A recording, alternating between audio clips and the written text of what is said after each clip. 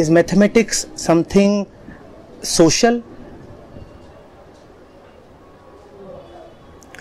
Is 2 plus 2 is equal to 4 something psychological? No, the mathematics Or- itself, no. No. No. Or is 10 greater than a- 8 a statement of identification? No, this is all just a matter, but But If- is, is. But if a student who gets 95% is superior to a student who gets 80%, then it indeed becomes a matter of identification.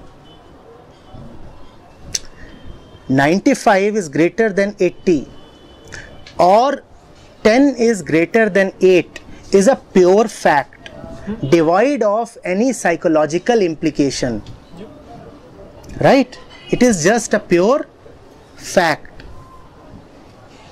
but when 95% student a student getting 95% is superior to a student getting 80% then it is no more just a fact now you are suggesting something to the student about his self worth, about his identity, about who he is. So it's a beautiful job. Just be cautious that you are not staining the psyche of the child. Maths is wonderful. Maths is about knowing the laws of the material existence. Huh? It is the existence expressed in another language.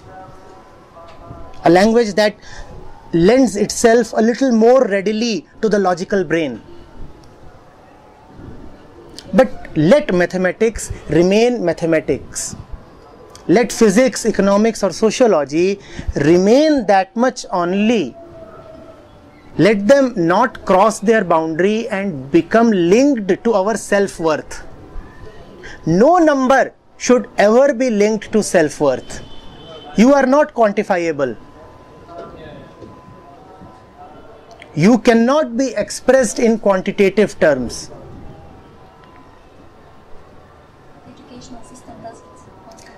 We all do that. Huh? We all do that. Now that you are a little alert about it, you will not allow it to happen. And when more people like you become sensitive, then the system will have to change. Hmm? Yes, yes. Does it help in our observation or quest to attention? I don't know how to put it, but to, to be more careful with the way we use the language and the words. Yes, of course. Very well put. Be very cautious about the words that you use. Words are a source of so much nonsense. Hmm? And words used indiscreetly only cause damage to the other, even to the one that you wish well. So be very, you know, that was one of the things in the song.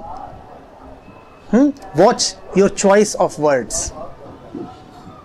Watch why you are using one particular word compared to the other. Now, words by themselves mean nothing, empty and hollow, just pointers.